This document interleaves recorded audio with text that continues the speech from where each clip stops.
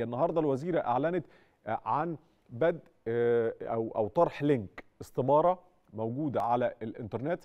كل الطلبة دي استمارة موحدة للطلبة اللي بيدرسوا في أوكرانيا ومضطرين إن هم يخرجوا أو بالفعل خرجوا ورجعوا مصر أو موجودين في دول أخرى. هيدخلوا هيكتبوا هتشوف حضراتكم ال link معانا دلوقتي.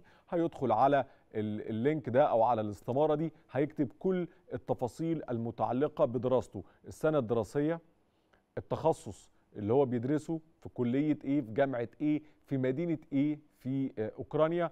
هيسجل كل هذه البيانات هيقدم إذا كان في كارنيه في آي دي في أي شيء يثبت إن هو بالفعل بيدرس هذا التخصص في هذه الكلية في أوكرانيا. كمان طلبت إن إن كل الدارسين الطلبة الدارسين يا ريت يدخلوا في أوكرانيا يا ريت يدخلوا على الموقع ويكتبوا البيانات بتاعتهم بمنتهى الدقة وإن البيانات آدي قدام حضراتكم آدي الموقع اللي خصصته وزارة الهجرة في جهد بيتم حاليا مع التعليم العالي عشان طبعا الحرص على مستقبل هؤلاء الشباب اللي كانوا بيدرسوا في أوكرانيا. وحتى الوزير قالت لهم متابعة إن ان القيادة السياسية بتتابع هذا الأمر يعني يوميا.